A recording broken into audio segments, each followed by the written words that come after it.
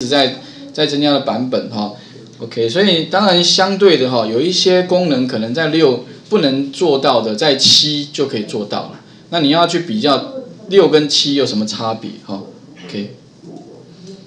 那这边的话有关版本哈，那 Java S 一七哈，S 一的话是 Standard，哦，一的话是 Environment，所以我们在安装基本上是 S 一。刚刚有同学问到就是有关 Java 是要用哪 S 一，那另外有个 E 一的话是所谓的 Enterprise 的哈 Environment，那通常 Enterprise 的这个版本哈，通常是会有商业用途的话，需要会有费用的问题啊，因为你是用到商业用途上面。那另外有个 M 一的话是 Mobile Environment，就是用在智慧型手机上面的。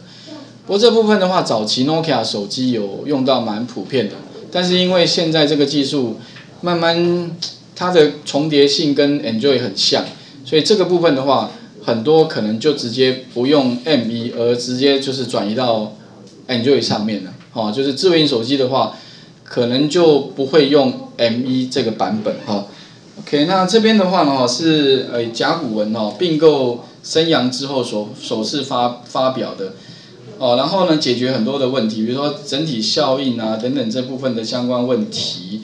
那这个部分的话哈，因为 Oracle 呢哈，大概花了六十五亿美金哈，给把那个呃这个生阳给买下来啊，好，我记得好像是六十五亿美金吧啊。不过呢哈，他那个有告 Google 啊。就是侵权的问题啊，你知道他要求民事赔偿有没有？他要求 Google 要赔多少？六十五。没有他，他还好，他说六十亿就好了。哦，有点，我跟你六十五亿买，然后啊叫人家赔六十六，好应该是六十亿左右了哈，这这还蛮聪明的。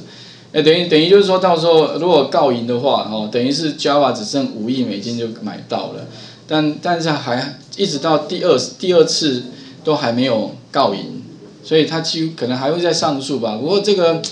都是很有趣的一个一个一个新闻哈，因为这个感觉有点像是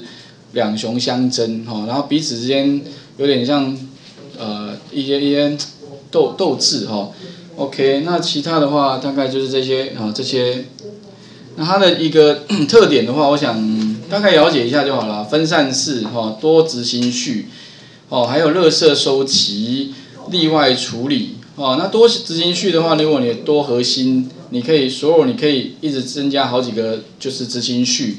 然后 garbage collection 就是如果你有记忆体的配置的话，它不像 C 语言可以自己去配置记忆体，比如说我今天要把它 d 呃就是 destroy 就是把它把记忆体收回的话，我们 Java 不能做到。